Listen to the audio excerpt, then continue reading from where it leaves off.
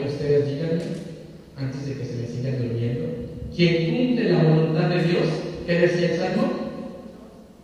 Dichoso el que cumple la voluntad de Dios. Y ese dichoso, esa palabra de dichoso, ¿sí? también significa feliz. Feliz el hombre, feliz la mujer que cumple la voluntad de Dios. ¿sí? Produce felicidad. ¿sí? Cumplir la palabra de Dios. Cuando nos alejamos de Dios es cuando nosotros le damos cabida. Entonces, a aquellas cosas que nos roban la paz, que tal vez nos dan felicidad, pero por un instante, pero una felicidad pasajera. Dios viene a ser de nosotros plenos en nuestra vida. Dios nos viene a dar una felicidad, pero en plenitud.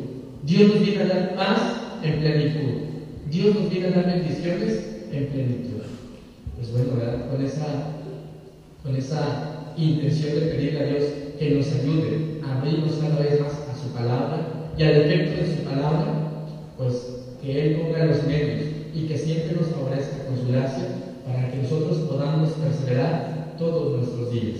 Ahí donde Dios se manifiesta, donde Dios me ha pedido un compromiso con tu familia, con tus hermanos, con tus amigos, en tu escuela, en tu trabajo, ¿sí? en cualquier ambiente que nos encontremos, nuestra condición de discípulos. Somos discípulos del Señor. Y si cumplimos los mandamientos, ¿sí? entonces estamos viviendo ese llamado. Vamos a continuar nuestra celebración así como está, vamos a hacer nuestra ofrenda.